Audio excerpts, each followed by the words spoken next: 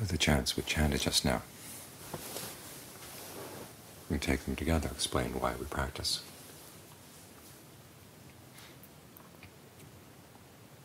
The one talking about how the world is swept away, how things don't endure, offers no shelter. And then, may I be happy in the midst of all that uncertainty, all of that danger, the danger of our own craving, the danger of looking for happiness in things that slip away. This is why we turn around and look in the mind.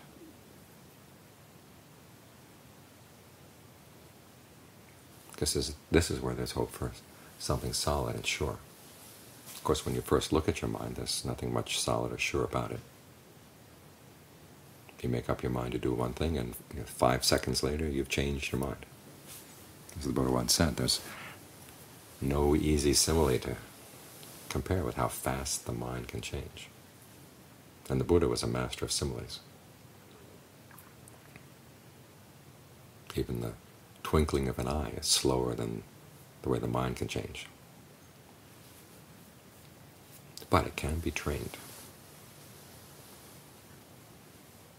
That's the important point. When you've reached the point where you see how doomed to failure any quest for happiness outside is going to be.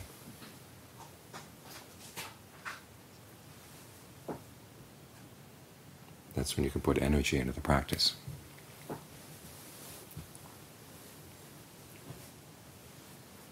There's a passage where the Buddha says a conviction in the practice is conditioned by suffering. You see that things are really bad. It doesn't say that all life is suffering. That's a misrepresentation of what he had to say, but there is suffering in life. And most of the things that we really pin our hopes on tend to fall apart very easily. And when you've had enough of that, then you say, well, maybe there's another way out, another way to happiness. So you start looking inside, looking into this practice of training the mind through generosity, through virtue, through meditation.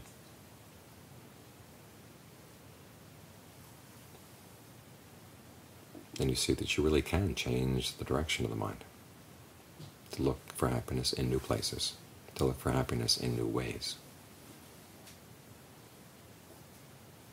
Like we're doing right now, focusing on the breath. Getting the mind to stay in the present moment. So to have a good solid place to look at its thoughts, a good solid place to look at whatever whatever arises with the eyes, ears, nose, tongue, body, and mind.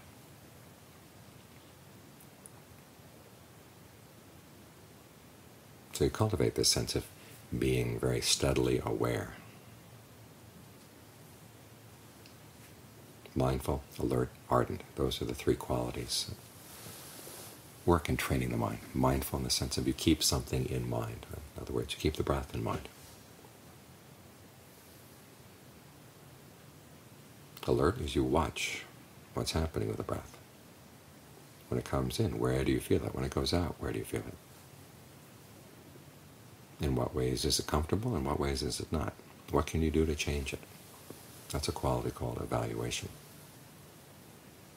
Taking stock of the breath and exploring what are the potentials that the breath energy has.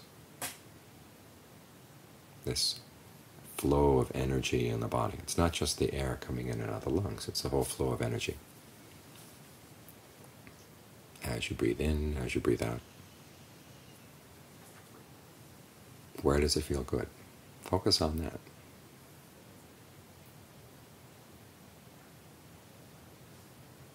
And see if you can stay there. The quality of ardency is what helps keep you there. Ardency is another term for right effort.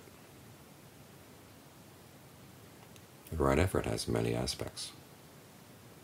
As the Buddha said, it starts by generating desire to do away with unskillful mental qualities and generating desire to develop skillful ones. The quality of desire there is important. There are lots of different ways you can fire that desire. One is looking at the drawbacks of not having a concentrated mind, of not being mindful, of not being alert.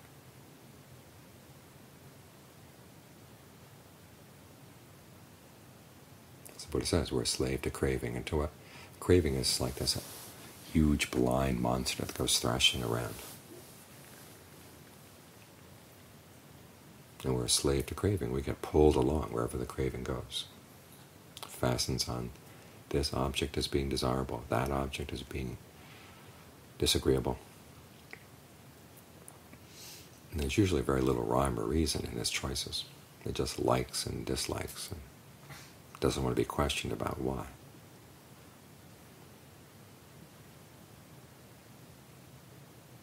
So sometimes focusing on the drawbacks of an unfocused mind or an uncentered mind.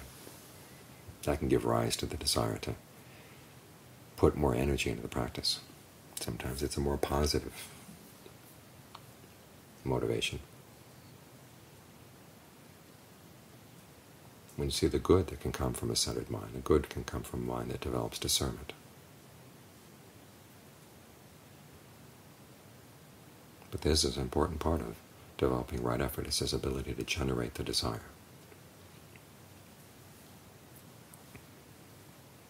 This ties in with two emotions at the central to the practice, samvega, the feeling of urgency, realizing that there are dangers in the mind that you've got to learn how to overcome. And if you don't, you're putting yourself into all sorts of trouble. It's not just you. You look all around you. This is where everybody is who hasn't trained the mind. And it's scary.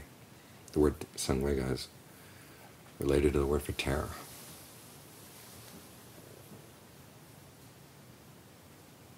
Strong sense of how dangerous things really are. But then it's coupled with pasada, sense of confidence that there is a way out and you can manage it.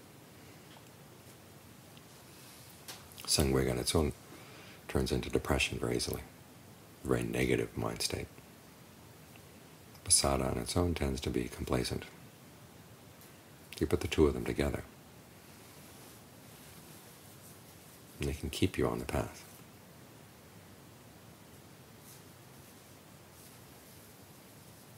That's one element of right effort, the generating desire. And then it's figuring exactly what effort is re required right now. Because it's not just letting go, or it's not just any one thing. There are lots of different kinds of right effort. There's the effort to develop. As you develop more mindfulness and develop more concentration, there's the effort to let go. There's the effort to prevent things from happening.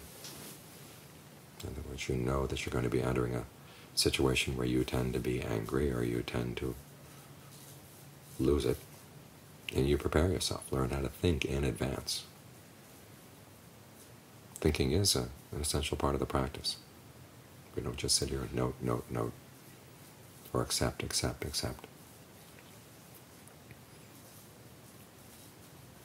Or just be in the present moment. There's sometimes you actually have to plan ahead. But it's learning how to figure out what is the appropriate kind of effort right now. This is where discernment forms an essential part of right effort. Something should simply be watched. As the Buddha noted, there are some problems in the mind that go away simply when you watch them with equanimity. Other times you have to fabricate, as he says, an effort, fabricate a, an intention to do away with them or to develop whatever is needed. So that's the second part of right effort, is figuring out exactly what kind of effort is needed right now. For example, the Four Noble Truths. You want to comprehend suffering. That means watching it until you develop a sense of dispassion for whatever's causing it. When you see what's causing it, then you let it go. You develop the factors of the path, and ultimately You want to realize the end of suffering. So there are different duties and different approaches that can be appropriate at any one time. It's trying to figure out what's the appropriate effort right now. That's an important part of the practice. And then, of course, there's the amount of effort you want to put in. Sometimes it's very delicate and very precise. Other times it requires using a lot of strength.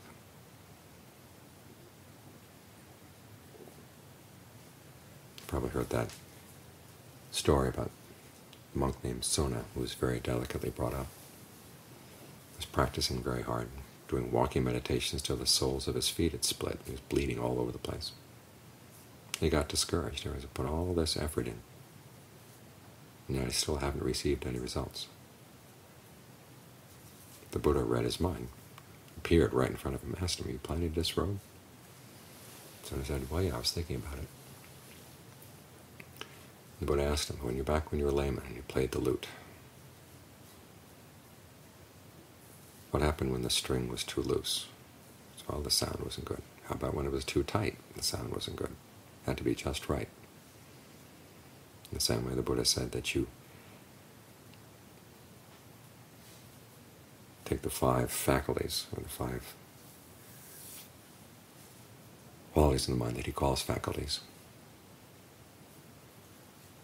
then you tune your level of energy first. It's like tuning five strings on a guitar. First you tune one string, and then once that string is in tune, then you tune the other ones to it. In this case, you tune the level of energy that you can put in, and then you tune the level of your conviction and your mindfulness and your concentration and discernment around that, and that's how you practice. In other words, you look at how much energy you can put in. Make sure that your conviction is proportionate to that. Some days you'd like to have awakening at the end of the meditation session, but your energy just isn't up for it. So you've got to tune the level of your conviction. Tune the level of your mindfulness to what you can do. Then as time develops, you find that you can start putting more energy in. So you ramp up the conviction, you ramp up all the other factors. And there are times when there's going to be setbacks, so you tune them back. So right effort doesn't mean just a middling effort, it means an effort that's appropriate to what you can handle, and also that's appropriate to the task. As I said earlier, the Buddha pointed out there are some problems in the mind, all you have to do is just look at them and they go away. Others require a lot of effort. You have to work with what he calls different kinds of fabrication. There's bodily fabrication, which is the breath. Verbal fabrication, directed thought and evaluation, in other words, how you narrate and analyze the problem to yourself. And there's mental fabrication, the feelings around it. And feelings here doesn't mean emotions, it just means simply the feeling tone around the issue. and your perceptions. For example, the way you perceive the breath, how it relates to a particular unskillful emotion. If anger comes up, ask yourself, well, how am I breathing in response to this anger? Maybe I can weaken the, the anger by the way I breathe. At least not have it such a, let it have such a strong hold over the body.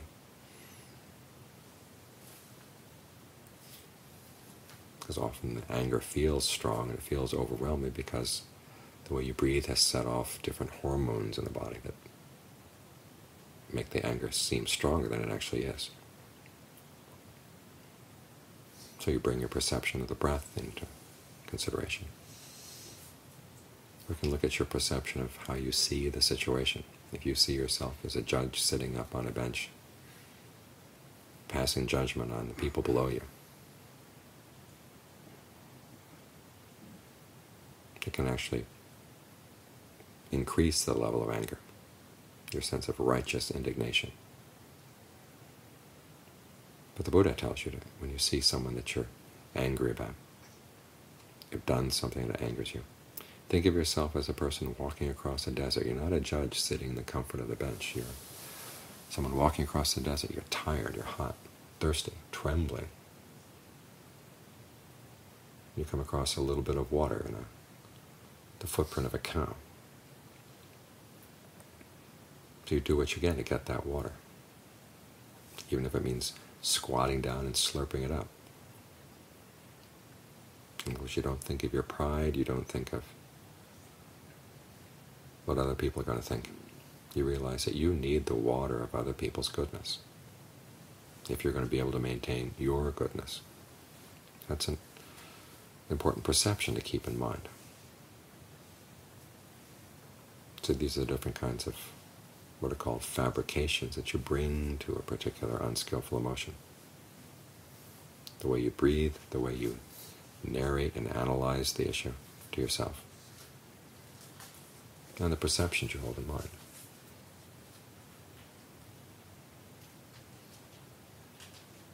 So these are the different facets of right effort.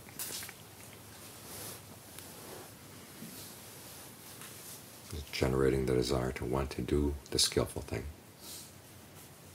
And then figure out what the skillful thing is and how much energy you have to apply to it, or how much energy is needed if you're going to get results.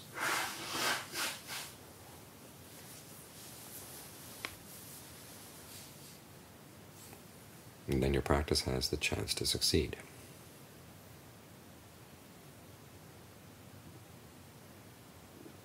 The mind can be trained this way. And when the mind is trained, as the Buddha said, it brings happiness. One of the interesting things about the Buddhist teachings is that a lot of the central terms are not defined. He never defines mind. He never defines happiness, even with stress and suffering. He just gives examples. But it doesn't define what it is. Because he's teaching us a skill. It's not just a body of knowledge to be memorized, or a system of thought to be talked about. In the old days, they talked about two kinds of knowledge. There was scribe knowledge and warrior knowledge. Scribes like to have things defined. They wanted the kind of knowledge you could write down in words.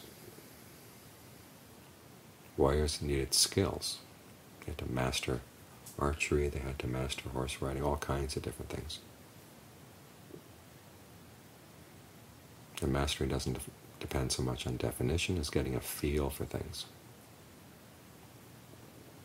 And any skill, the more you master the skill, the more your sense of the different elements of the skill begins to grow and develop. So you don't want to hem it in or confine it by a set definition. Your sense of your mind begins to change as you train it. Your sense of happiness begins to change. As you get more and more adept at finding a happiness that's more refined, more reliable, your sense of stress and suffering gets more and more refined as well even deep stages of concentration, you begin to realize there is stress there. As the Buddha said, when you get into the deep levels of jhana, you, and if you've mastered them, you begin to look and see what here in this state of jhana,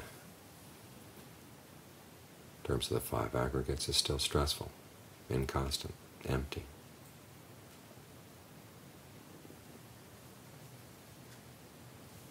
That way you'll be able to get rid of your attachment, see through your attachment to these things, and find a happiness that doesn't have to latch onto anything at all.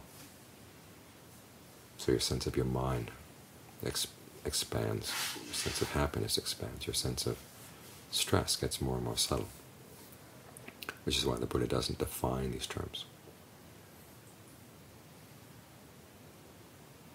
He wants you to find out about them on your own.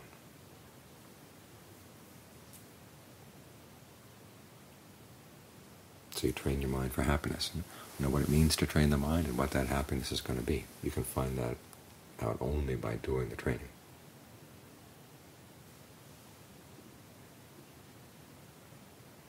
But it's the suffering you already know. That's what gives a large part of the impetus to getting started on the training and sticking with it, seeing it through to the end.